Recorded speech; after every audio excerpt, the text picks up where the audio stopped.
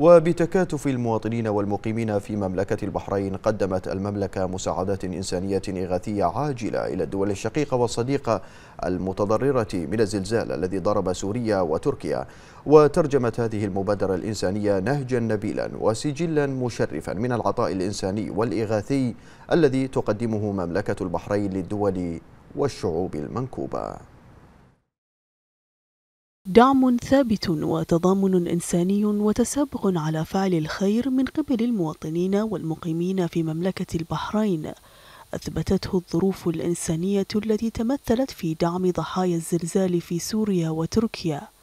هذه الظروف الإنسانية التي جمعت كل سكان المملكة تحت هدف واحد وهو الوقوف جنبا إلى جنب مع الأشقاء والأصدقاء المحتاجين في شتى بقاع العالم.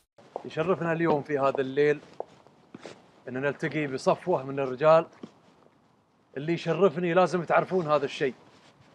الخدمة معاكم والقيادة لهذه الوحدة وعشرتنا مع بعض اللي بنيناها في السلم وفي الحرب.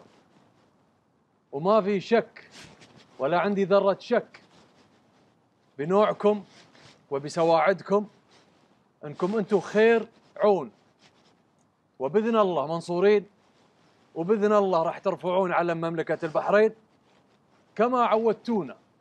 الحملة الوطنية لدعم ضحايا الزلزال في سوريا وتركيا التي أتت لمنح شرف المساهمة لكل من المواطنين والمقيمين في مملكة البحرين أثبتت أرقامها التعاون والتلاحم والتكاتف الذي يتمتع به سكان مملكة البحرين ووفائهم لجميع أشقائهم وأصدقائهم في مختلف الظروف والمحن.